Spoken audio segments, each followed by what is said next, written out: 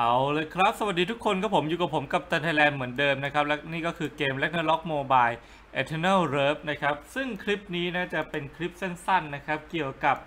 การสรุปว่ายังไงกันแน่ที่เราจะเริ่มดองบริจาคกรูนนะครับ เราจะเริ่มวันไหนกันแน่นะฮะหลายๆ คนก็สงสัยซึ่งผมเคยทำคลิปนะครับ สอนวิธีการดองบริจาคไปตั้งแต่รอบที่แล้วแล้วนะฮะก็ผ่านมาเป็นเดือนแล้วแหละ ยังมีหลาย ๆ คนยังไม่ได้ดูแล้วก็ยังไม่เข้าใจ ดังนั้นผมจะทำคลิปนี้ขึ้นขึ้นมาอีกครั้งเพื่อหลาย ๆ คนนะครับอะเราเนี่ยนะครับผมจะดองบริจาครูนอย่างไรนะครับ การดองบริจาครูนก็คือการเก็บสะสมนะครับ ขยะบอสนะครับ เอาไว้จนกระทั่งถึงวันที่เริ่มกิจกรรมบริจาคคูณ 2 เราจะกดวันนั้นรวดเดียวนะฮะแล้วเราทำยังไงล่ะทำยังไงก็คือ ใช้วิธีการบริจาคขยะนะครับ ทั่วไปนะฮะในบอร์ดของเราเนี่ยให้มันหมดออกไปเรื่อยๆนะครับผมอย่างเช่นตอนนี้ผม9ทับ10 ถูกไหมนะครับ ถ้าผมจะทำให้มันหมด ผมก็ต้องบริจาคยันรอบสุดท้าย ซึ่งขยะทั่วไปแต่ละอย่างกดได้ 5 ครั้งนะครับ ผมกดกดกดไปนะฮะปึ๊บครบเรียบร้อย 5 ครั้ง ก็จะหายไปตอนนี้เหลือ8ทับ10 แล้วพอเหลือ8ทับ10 ล็อตใหม่จะมาในอีก 20 นาที ในอีก 20 นาทีล็อตใหม่จะมาออเดอร์ล็อตถัดไปนะครับออเดอร์ถัดไปจะมา แต่ว่าในออเดอร์ในแต่ละรอบเนี่ยจะมาแบบสุ่มนะครับ มันจะมาตั้งแต่ 1 อันถึง 3 อัน ดังนั้นเนี่ยถ้ามันมา 1 อันเนี่ยบอร์ดผมเนี่ยก็ยังไม่ถูกดันออกไป หรือ 2 อันก็ยังไม่ถูกดันออกไป มันก็จะกลายเป็น 10ทับ10นึกออกไหม นะครับ เจ้า Magic Stick Ward มาลินผมเนี่ย มันก็จะตกไปอยู่อันสุดท้าย แต่ถ้าเกิดว่าขยะล็อตถัดไปนะครับออเดอร์ถัดไปเนี่ย มา 3 ชิ้นนะครับ สุ่มมาได้ 3 ชิ้น เจ้า Magic Stick Ward อะไม่ใช่ Stick Magic Stick Ward เนี่ย มันก็จะหายไปจากบอร์ด กลายเป็น Lost Cause อยู่อันสุดท้ายแทน นึกภาพออกไหมนะครับ ดังนั้นวิธีการที่คุณจะดองขยะ เพื่อที่จะรอให้บอร์ดเนี่ยไปถึงระยะเวลาวันกิจกรรมเนี่ย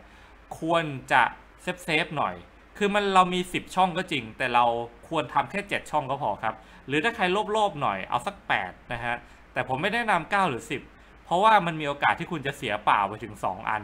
นะฮะอะทีนี้นะครับวิธีผมก็ได้บอกไปแล้ว บริจาคไปนะครับ จนมันหายไปจากกระดาน แต่ว่าผมจะยังไม่เริ่มทำวันนี้ เนื่องจากว่าวันนี้เนี่ยวันที่ 7 ตอนที่ผมอัดคลิปนะฮะถ้าผมจะเอาแค่ 7 อัน ผมควรเริ่มวันที่เท่าไหร่นะฮะเริ่มวันที่ 9สำหรับผมนะเริ่มวันที่ 9 จะดีที่สุดนะก็คือนับนะฮะ9 10 11 12 13 14 15ได้7อัน และเข้าวันที่16ก็คือตีห้านะครับ ก็จะเป็น ระยะเวลากิจกรรมพอดี แต่พอมันเป็นเที่ยงคืนแบบนี้เนี่ยผมไม่แน่ใจขอโทษนะพอมันเป็นกลางสัปดาห์แบบนี้เนี่ยผมไม่แน่ใจว่ามันจะ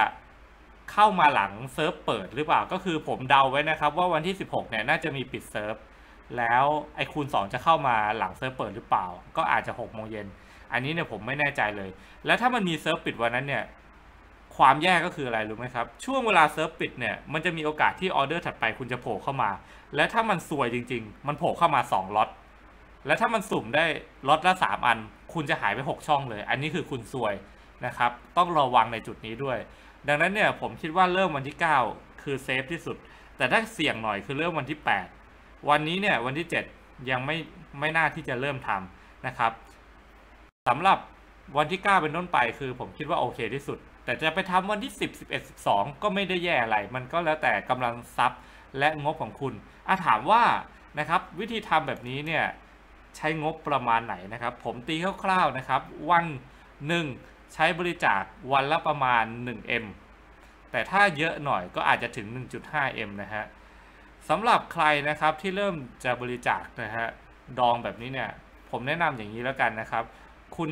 อย่าเพิ่งรีบซื้อขยะมาดองนะฮะ คุณเนี่ยรอดูก่อนว่าคุณเจออะไร แล้วคุณค่อยดอง สมมุติว่าอ่าวันนี้ผมยังไม่เริ่ม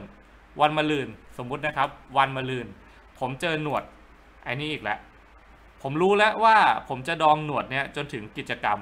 ผมซื้อมาไว้เลย ถ้าอยากจะบริจาคเอาให้ได้ 10 เฟืองต้องซื้อ 15 อันถูกไหมครับ มันจะเป็น 1 2 3 4 5 มันรวมทั้งหมดคือ 15 อัน ก็ซื้อมาไว้กับตัว 15 อัน พอถึง วันที่เป็นกิจกรรมแล้วก็กดทีเดียว 5 ครั้งได้ 10 เฟืองนะครับ ตามนั้นถ้าเราดองไว้ 7 ช่องก็จะได้ 70 เฟือง และมันยังไม่จบแค่นั้นนะครับ มันยังมีช่วงระยะเวลากิจกรรมก็คืออีก 7 วัน ก็คุณจะได้